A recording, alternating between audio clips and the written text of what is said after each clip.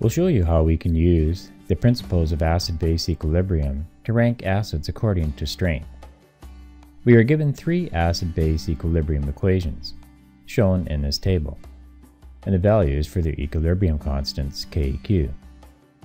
Given this information, we're asked to rank the acids C2H5COOH, C6H5SH, and H2SE from strongest to weakest. We'll start by looking at the Keq value for the first reaction. We see it is 0.0019, which is less than 1. Recall that when Keq is less than 1, reactants are favored at equilibrium. Now we identify the acid on each side of the equation. The C6H5SH on the left has one more proton than the C6H5S- on the right. So C6H5SH is the acid on the left. And the H2SE on the right has one more proton than the HSE- on the left. So H2SE is the acid on the right. We know that equilibrium favors the side with the weaker acid. And since equilibrium favors reactants in this case, the acid on the reactant side, C6H5SH, must be the weaker acid, which means the acid on the right, H2SE, must be the stronger acid of the two. So we can summarize that the first equation tells us that H2SE is stronger than C6H5SH. Now we'll look at the Keq value for the second reaction. We see that it's 52. So Keq is greater than 1. This means equilibrium favors the products.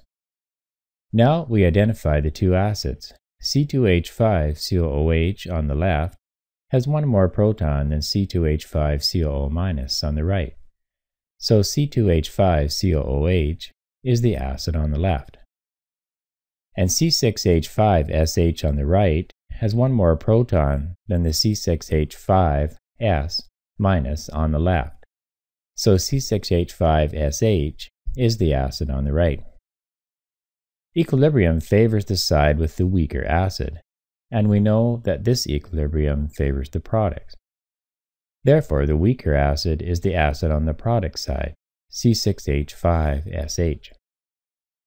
Which means the stronger acid of these two is C2H5COOH. So I'll make a note here that C2H5COOH is stronger than C6H5SH. Now we'll look at the Keq value for the third reaction. We see that it's 10, which is greater than 1. So this equilibrium also favors products. Again, we identify the acids. H2SE on the left has one more proton than HSE- on the right, so H2SE is the acid on the left. And C2H5COOH on the right has one more proton than C2H5COO- on the left, so C2H5COOH is the acid on the right.